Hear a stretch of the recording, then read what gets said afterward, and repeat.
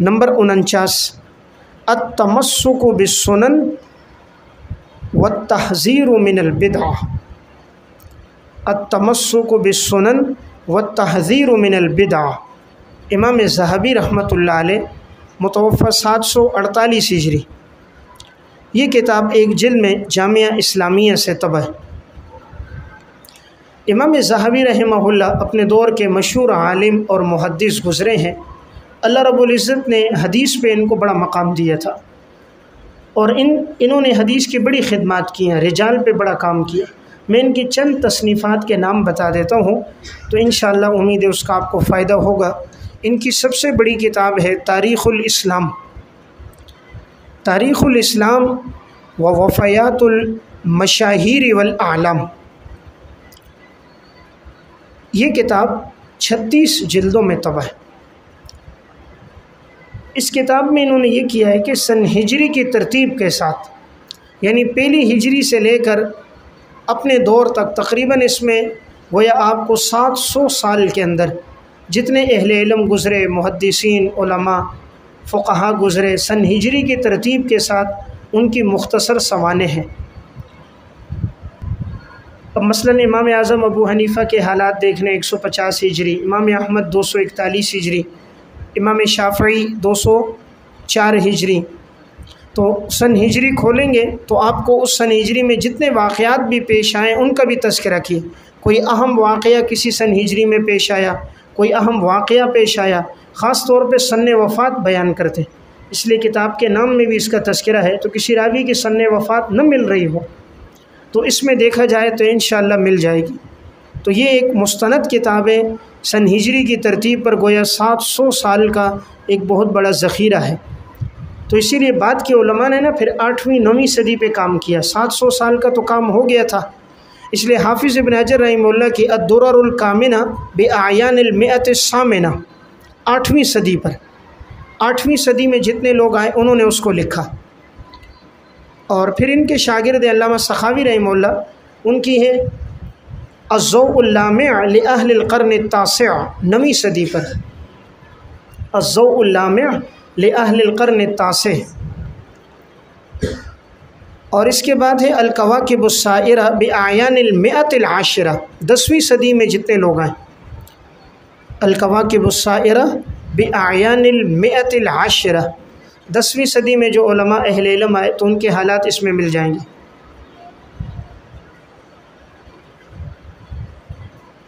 और अगर बारहवीं सदी पर हो तो उस पर किताब ख़ुलासतुलअसर फ़ी तारीख़ क़र्न सानी आशर। ख़ुलासतुलअसर फ़ी तारीख़ क़र्न सानी आशर, बारहवीं सदी पर। और तेरहवीं पर हिलियतुलबशर फ़ी तारीख़ क़र्न सालिस आशर। हिलियतुलबशर फ़ी तारीख़ क़र्न सालिस आशर। ये मैंने आपको सन हिजरी की तरतीब से बता दिया। अगर किसी इलम के हालात देखने हो तो इस तरह आपको बसानी मिल जाएँगे। और यह अल्लामा शौकानी की एक है अलबद्रताल ये सातवीं सदी के बाद जो लोग आए, उनके हालात मुख्तसर इन्होंने ज़िक्र किए अपने दौर तक। इनका इंतकाल 1250 में। अलबद्रताल तो इमाम जहबी की बात मैंने अर्ज़ की कि 700 साल में जितने अहल इलम आए हैं, इन्होंने अपनी इस किताब में उनकी तारीख़ लिखी। इनकी बाद में जो किताबें हैं, बाज़ अहल इलम की राय ये कि वो इसी से माखूज़ हैं। अब इनकी दूसरी किताब है ना सीर आलाम नबला, जहाबी की छब्बीस जल्दों में। मौसत रसाला से तबाह। इसमें इन्होंने ये किया नबील लोगों के हालात, अक्लमंद लोगों की सीर सवाने। सीर आलाम नबला, नबील और अक्लमंद वो लोग जिनसे अल्लाह ने दीन की खिदमत ली हैं, जिनका नाम है नामवर लोगों की सीरत तो वो छब्बीस जल्दों में कर दी। दो जल्दों में आप अलैहि वसल्लम की सीरत है। उसके बाद फिर खलफ़ा राशिदीन, फिर सहाबा, फिर ताबीन, इस तरह नामवर नामवर लोग लिए। सन हिजरी पर नहीं है। तारीख़ुल इस्लाम तो सन हिजरी पर थी। ये सन हिजरी पर नहीं है। ये नामवर लोगों की सदी के अतबार से, पहली सदी में, दूसरी में, तीसरी में, चौथी में।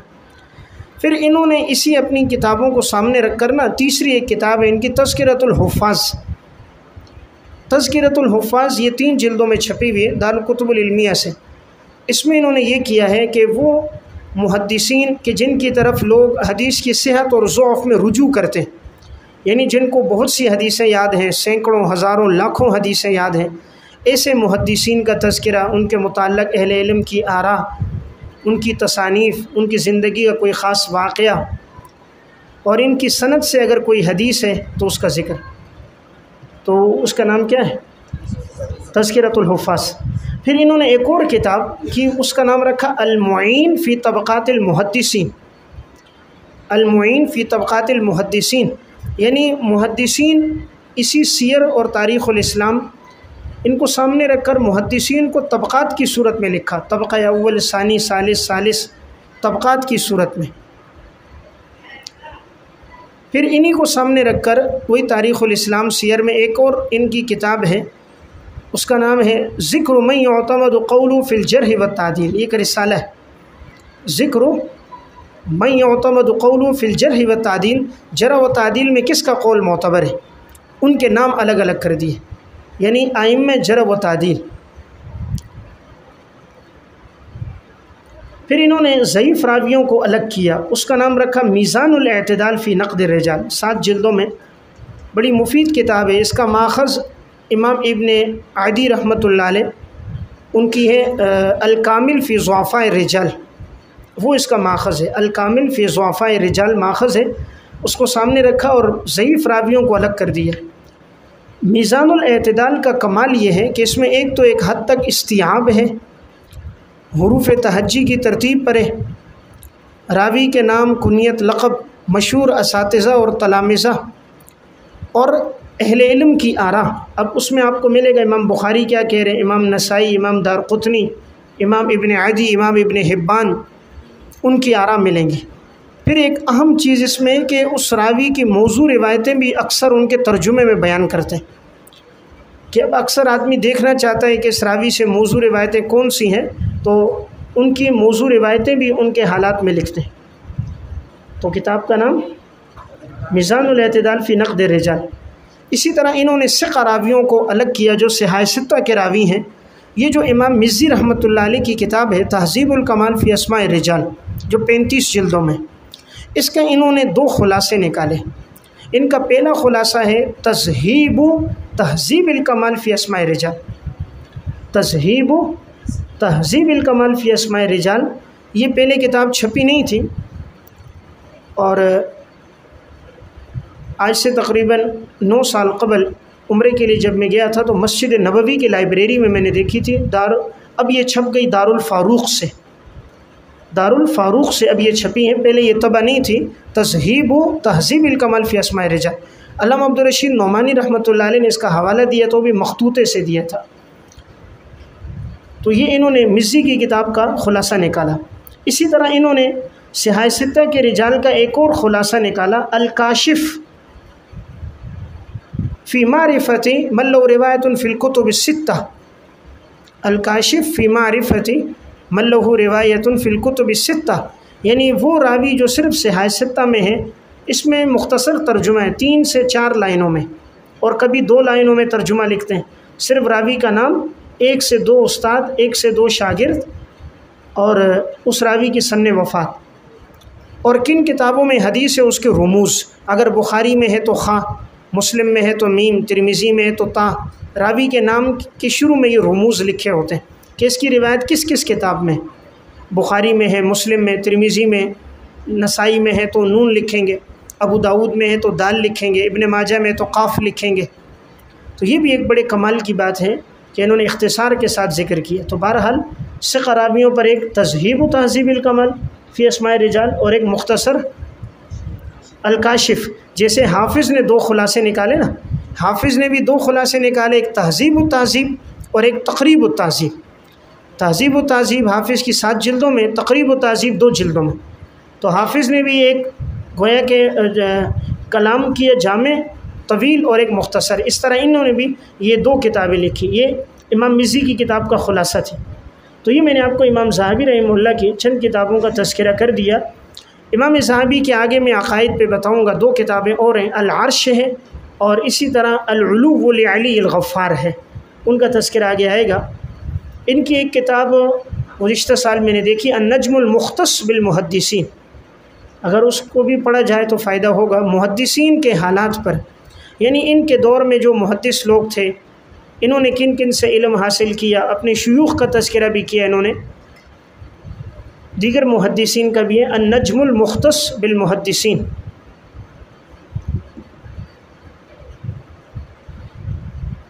इमाम जहाबी रहमहुल्ला के बारे में एक जुमला है। अल्लामा ताजुद्दीन सुबकी रहमहुल्ला इनके शागिर्द हैं। उनकी तबक़ात शाफ़ियतुल्कुबरा है। उसमें ये जुमला है। शाह साहब रहमहुल्ला भी ये जुमला नकल करते थे। इनके बारे में कि अगर अला अकीमतिन लारफ़कुल्लमिन बेसमाम व असमा आबाइम अगर इनको एक टीले पर खड़ा करो, छः लाख रुवात इनके सामने हों।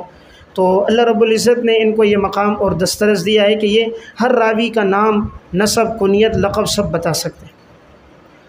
अल्लाह ने ऐसा हाफजा और जहन दिया था कि अगर सारे रावी एक मैदान में खड़े हों और जहाबी को एक टीले पर खड़ा करो तो ये बताएगा, ये रावी फ़लाँ नाम है, बाप का नाम, दादा का नाम, इसके बारे में अहल इल्म ने यह कहा, और इसकी कुनीत लक़ब ये है सन वफ़ात तो ये इसम ब मुसम्मा था, जहब किसे कहते हैं? सोना। तो जैसे नाम सोना था ना, वैसे कमाल भी अल्लाह ने सोने का डाला था, जैसे इबन हजर। तो वो भी इसम ब मुसम्मा, हजर पत्थर है, जैसे पत्थर ठोस है बात भी उसकी ठोस है। बात भी वो ऐसी ही करता है, जैसे कि अल्लाह रब्ज़त ने उसे नाम दिया। तो बाज़ अहल इल्म को अल्लाह शान भी वो दे देता है, जो उनके नाम के अंदर उस शान की झलक होती। तो मैं अर्ज़ कर रहा था, साहबी की जुमला किताबें बड़ी मुफीद हैं। अगर आपने इनकी सवानें पढ़नी है तो तबक़ात शाफ़ियतुल्कुबरा में ताजुद्दीन सुक्की ने लिखी है। इस तरह दुक्तूर बशार अवाद ने जो मुकदमा लिखा है वो तारीख़ुलस्लाम पे छपा हुआ है। असल तो मुकदमा सीर पे था तो बशार अवाद ने तफसीली वो लिखा है। और उन्होंने इमाम जहाबी की तारीख़ और इमाम जहाबी के हालात पे भी लिखा है। इमाम जहाबी व मनहज फ़ी तारीख़ इस्लाम, कि जहाबी का तारीख़ इस्लाम में क्या मनहज रहा है? तो उन्होंने उसका तस्करा भी किया, उनकी सवानी भी लिखी है। लेकिन इमाम जहाबी रही ने अशायरा का तस्करा अच्छे अल्फाज में, हनाबिला का तस्करा अच्छे अल्फाज में नहीं किया। ख़ास तौर पर इमाम अबुल हसन अशरी का। इसलिए ताजुद्दीन सुबकी इनके तर्जुमे में ज़रा गुस्से में हैं, इनके शागिर्द हैं, कहते हैं, हक़ बात की इतबा करना ज़रूरी है। अगरचे मेरे उस्ताद हैं, मैं उनकी इज़्ज़त और जलात शान का नाकिल भी हूँ, कदरदान भी हूँ। लेकिन उन्होंने इमाम अबुल हसन अशरी का तर्जुमा इस तरह नहीं लिखा जैसे लिखना चाहिए था। इसलिए उनके हालात में उन्होंने अपने उस्ताद से नाराज़गी का इजहार किया। बहरहाल, यहाँ जो मैं बात अर्ज़ कर रहा था, जहाबी की किताब का, वो अतमसुक बेसुनन व तहज़ीर मिनलबिदा सुन्नतों पे चलना और बिदात से बचना। इस किताब में अहादीस और रिवायात हैं सुन्नत के पर अमल करने की बिदात से बचने की। तो अगर कोई साथी सुन्नत पे बयान करना चाहे या इस मौजू पे पढ़ना चाहे कि उसे अहादीस का ज़ख़ीरा मिल जाए तो वो इस किताब को मुताले में रखे। रिवायात और आसार इसमें हैं। नंबर पचास, अल अर्श अल अर्श ये इमाम जहाबी रहीमल्ला मुतवफ़ा सात सौ अड़तालीस हिजरी। ये दो जिल्दों में अमादतुलबहसलमी से तबाह इस किताब में इमाम जहाबी रहीमल्ला ने अर्श को पर जो आयात, अहादीस, रिवायात हैं, उन्हें ज़िक्र किया। यानी शुरू में अर्श का तस्करा कुरान की किन किन आयात में आया तो कुरानी आयात लिखी हैं। फिर अर्श के बारे में अहादीस में तस्करा कहाँ आया है, अहादीस लिखी हैं। फिर अकवाल सहाबा, फिर ताबीन के आसार, तब ताबीन के आसार अकवाल लिखे।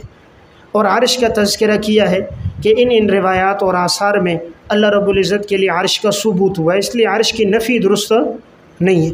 इस किताब का मुकदमा बड़ा मुफीद है। इसमें इन्होंने सिफ़ात पे बहस की है कि उसमें अहल सुन्नत की क्या राय रही है। मुतकदमीन मुताखरीन में और अर्श के बारे में भी अहल की क्या राय रही है, उसका भी तस्करा किया।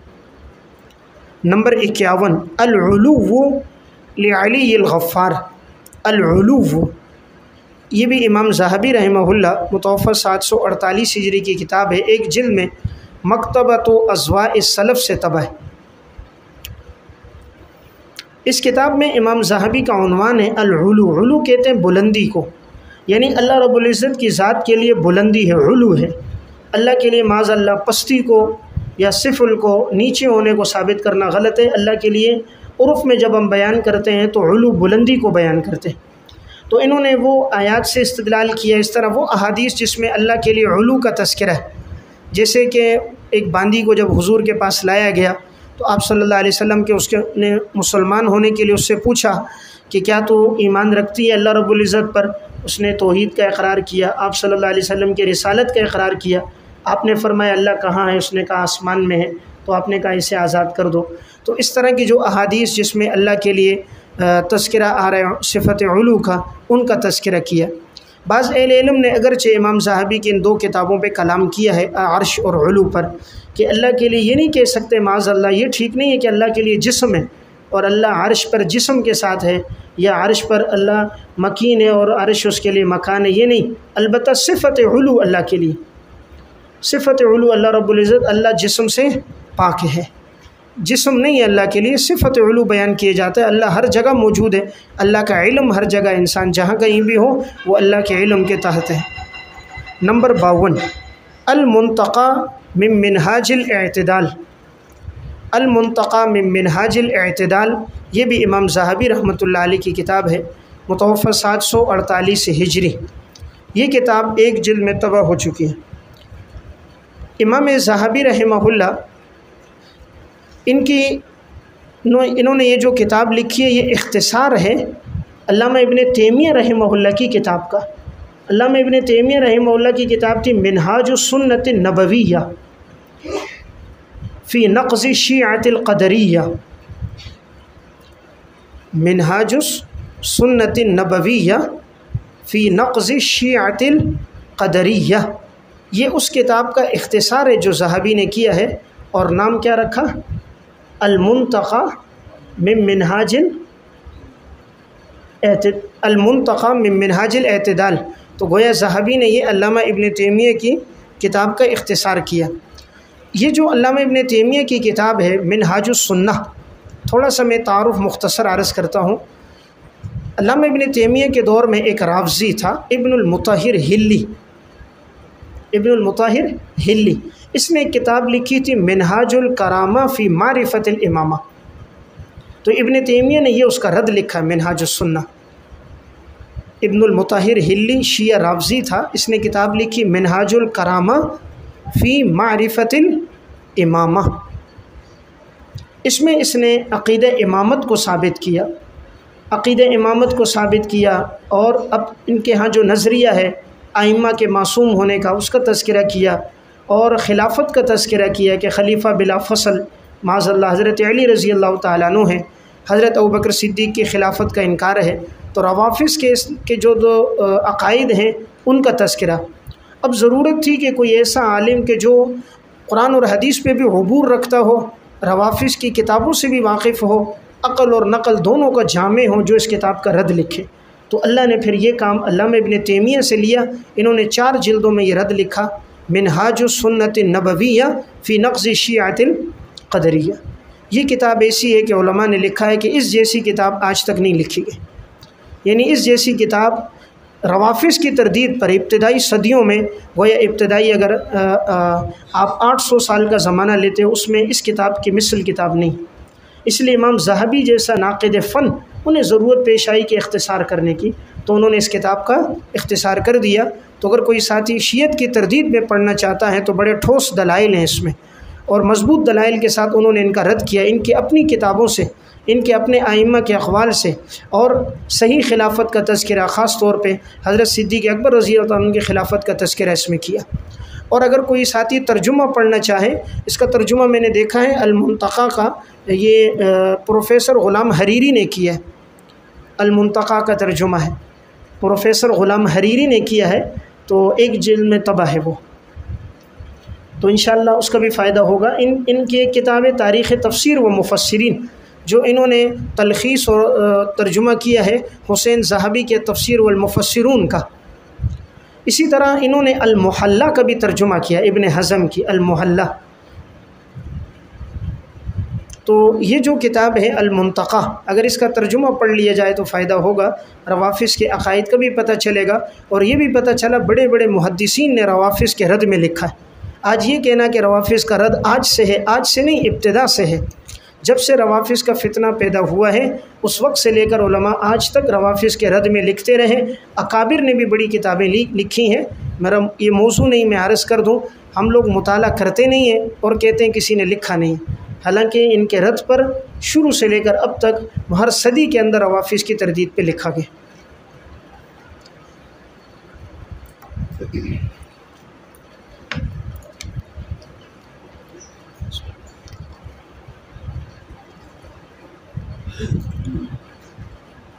नंबर उनचास अतम